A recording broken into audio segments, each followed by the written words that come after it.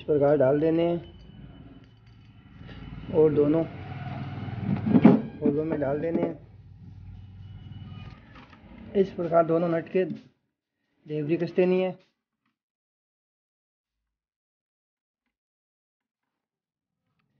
और प्लास से या पानी से दोनों को टाइट कर देना है अच्छी तरह, ताकि हमारा ल्यूज ना रहे और फिट हिल लेना ही इस प्रकार तीनों फिट आउट फिटिंग हो चुके हैं। अब हमें अब हमें वोल्ट मीटर और एम्पेयर मीटर ये वोल्ट मीटर है, ये एम्पेयर मीटर है। तो ये दोनों लगाएँगे अब। एम्पेयर मीटर और वोल्ट मीटर में दोनों में तार कनेक्ट कर लेंगे पहले। और फिर इनके होल निकालेंगे, होल निकालने के बाद बोर्ड में फिटिंग करेंगे। इस प्रकार आपको दोनों घड़ियों के, दोनों मीटर है, उन मीटरों के होल काट लेने हैं। आपको दिखाई दे रहे होंगे, ये होल मोटे हैं और ये होल छोटे हैं। इसमें बारीक तार होगा। जो ये वोल्ट मीटर है, उसमें बारीक तार लगेंगे, क्योंकि इसमें कोई लोड नहीं पड़ता है।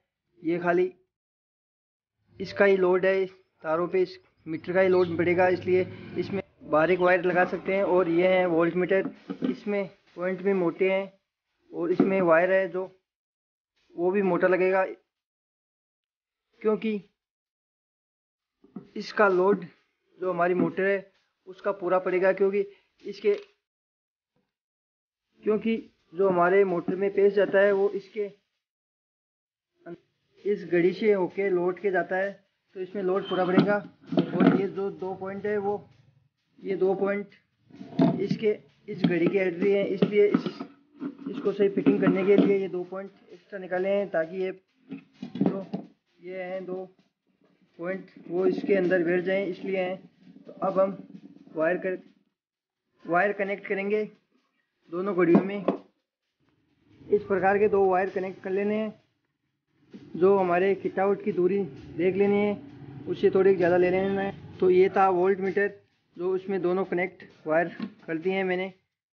अब है एम्पेयर मीटर, जो एम्पेयर मीटर है, वो किसी एक पेस ये फ्यूज है, इस एक फ्यूज से ओके गुजरेगा।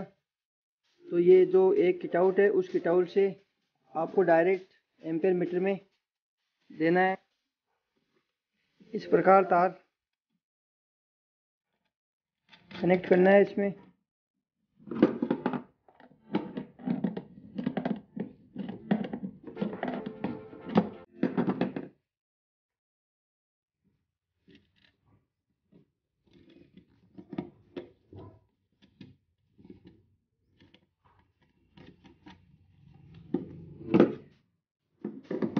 इस प्रकार आपको दोनों तार इस एम्पेयर मीटर में कनेक्ट कर देने हैं। और आपको एक, ये कनेक्शन करते हो, उसका ध्यान रखना है कि ये ये जो वायर है वो कनेक्ट किए हुए हैं, वो ल्यूज नहीं रहने चाहिए। अगर ल्यूज रहेंगे तो यहाँ वायर गर्म होगा, गर्म होने के कारण, या तो वायर जलेगा, या ये हमारा एम्पेयर मीटर जल जाएगा। इस प्रकार दोनों वायर फुल टाइट कनेक्शन करना है। टाइट तो सभी कनेक्शन करने हैं ल्यूज लेकिन ये घड़ी का कुछ थोड़ा ज़्यादा ही होता है, इसलिए इसको अच्छी तरह करना है। इस प्रकार दोनों एम्पेयर मीटर में दो वायर जुड़ गए हैं। अब आपको ध्यान रखने योग्य और तो दोस्तों, इतना तो आपको समझ में आ चुका होगा और मैं उम्मीद करता हूँ कि इतना तो आप कर सकते हो, जो आसान है। अब आपको बहुत ही ध्यान लगा के और अच्छी तरह समझने हैं, ताकि आपको समझ में आ जाए और वीडियो स्किप न करना है, नहीं तो आपको ये कनेक्शन नहीं समझ में आएँगे। अब मेन है पॉइंट वो कनेक्शन है और वायरिंग है। अब वायरिंग आप समझ जाओगे तो इस बोर्ड की बहुत ही आसानी से वायरिंग कर सकोगे। तो आप वीडियो पूरा देखना। तो दोस्तों आप वायरिंग करेंगे और वीडियो बहुत ही अच्छा और होने वाला है। अब आपको मैं वायरिंग करना सिखाता हूँ। तो चले चले, हम वीडियो देखते हैं और आगे स्टार्ट करते हैं। तो दोस्तों, मेरी एक छोटी सी रिक्वेस्ट है। आप मेरे चैनल को सब्सक्राइब कर लो और वीडियो को लाइक कर दो। आपकी बहुत मेहरबानी होगी। ठीक है दोस्तों तो हम वायरिंग करते हैं आगे तक चल के। वायरिंग करने के लिए सबसे पहले हम दोनों एम्पेयर मीटर और वोल्ट मीटर को दोनों इसको सेट कर देते हैं सबसे पहले। इनको सेट करने के लिए ये दोनों वायर इसमें डाल के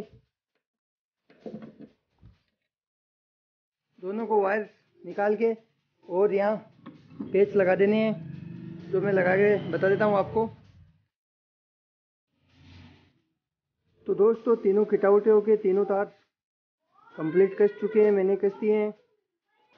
इस प्रकार तीनों किटावटों में तीन तार लगाने हैं, जो ये,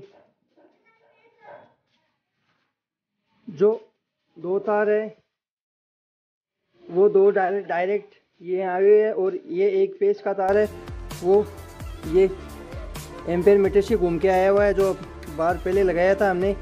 एक तार एम्पेयर मीटर का यहाँ से इसमें गया, इस पॉइंट से ये तार बाहर आ गया, ये मान लो। अब तीनों तार, तीनों पेस तीनों कटआउट में आ जाएँगे। और जो वोल्ट मीटर के दो तार थे, वो दो तार एक तो इसमें जुड़ गया और एक इसमें जुड़ गया ये दोनों बारीक तार हैं।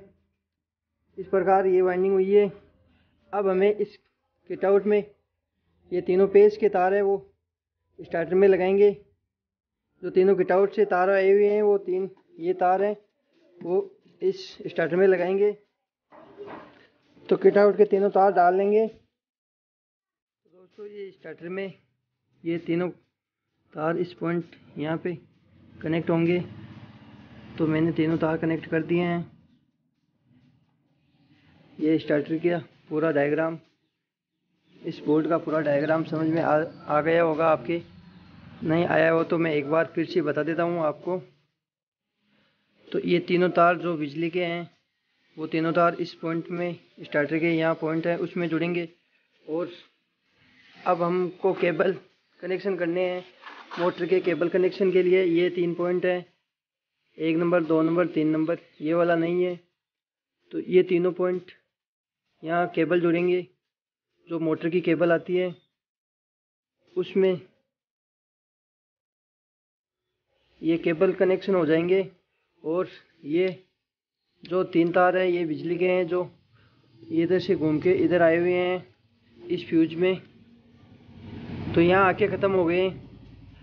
अब हमको यहाँ पे बिजली के तीन तार, जो बिजली के तीन पेस होते हैं, उन तीनों पेस के कनेक्शन इनमें करेंगे और यहाँ फ्यूज लगाएँगे। इस प्रकार ये फ्यूज वायर बाँध के इस फ्यूज डाल देंगे। तो हमारी मोटर ये ऑन ऑफ़ के बटन है। इन बटनों से चालू हो जाएगी। मतलब इसके ऊपर इसके ऊपर इस प्रकार के अटक होगा तो इसमें से ऑन हो जाएगी, इससे ऑफ़ हो जाएगी मोटर तो इस प्रकार का ये डायग्राम है। ये कंप्लीट बोर्ड की वाइंडिंग हो गई है। अब पीछे की वाइंडिंग देख सकते हो आप। ये दोनों पॉइंट दोनों दोनों तार है। वो एम्पेयर घड़ी के हैं। जो एम्पेयर घड़ी एक तो तार स्टार्टर में चला गया है और एक तार एक फ्यूज में चला गया है और ये दो तार फ्यूज के हैं और ये दो तार जो फ्यूज में से ये वोल्ट मीटर में जा रहे हैं। इस प्रकार अब हम यहाँ होल्डर लगाएँगे, बल्ब जलाने के लिए तो होल्डर के कनेक्शन करेंगे। सबसे पहले हमें ये दो तार कनेक्ट करने हैं। तो दो तार कनेक्ट कर, करेंगे पहले। इस प्रकार से एक तार मैंने कनेक्ट कर दिया है। इस प्रकार से आपको दोनों तार कनेक्ट कर लेने हैं। फिर कनेक्ट करने के बाद में ये जो दो होल है, वो ये दो होल निकालने हैं और फिर ये सेंटर में दो तार के होल निकालने हैं। इस प्रकार के चार होल निकालने हैं। दो तो पेज कशीने के लिए और दो ये तार जाने के लिए। तो तार को इस प्रकार इसके अंदर डाल देंगे। तो ये दोनों होल्डर के बल्ब के तार है, जो इसमें ये दो तारों में वो एक पेस आया हुआ है। जो ये एक तार है, वो तो पेस में लगा हुआ है, और ये एक तार बल्ब है। इन दोनों में स्विच लगा सकते हो। और ये एक तार है, ये अर्थ का है, जो अर्थ डायरेक्ट बोर्ड में लगेगा। तो इसमें दोनों तार चाहे तो जॉइंट कर सकते हो और चाहे स्विच लगा सकते हो। तो दोस्तों, ये थे कनेक्शन जो स्विच स्विच और बल्ब के। इस प्रकार ये बल्ब लग गया है। तो दोस्तों, मेरी वीडियो कैसी लगी? वीडियो को लाइक करना चैनल सब्सक्राइब करना। धन्यवाद दोस्तों। वीडियो कैसी लगी? उम्मीद करता हूँ आपको वीडियो पसंद आई होगी।